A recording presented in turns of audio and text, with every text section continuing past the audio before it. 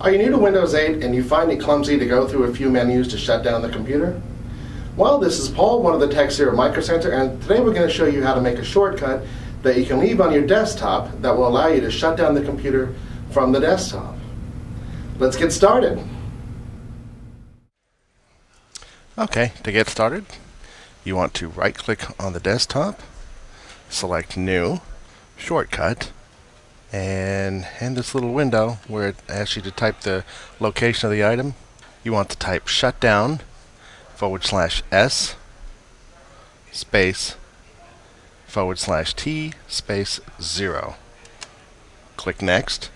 S it wants to know the name of the shortcut. We're just going to call it shutdown. I've already got one, so it's going to try to name it shutdown too. That's fine too for the for this video.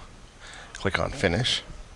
Alright, and there's the shortcut that we just made. And then if you want to, you can go in, right click and go to Properties. Go to Change Icon.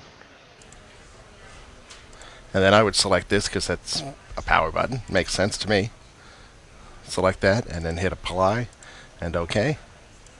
And there you go. There's a quick way to shut down Windows 8. It does not restart. Uh, it just shuts it completely down. Okay, that's how to create a icon on the desktop for Windows 8 that will shut down your computer immediately. If you have any other questions, come visit us at www.microcentertech.com.